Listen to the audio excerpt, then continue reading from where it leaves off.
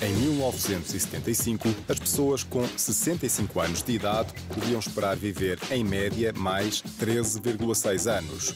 Hoje, ao chegar aos 65 anos, um português pode esperar viver, em média, mais 19,1 anos.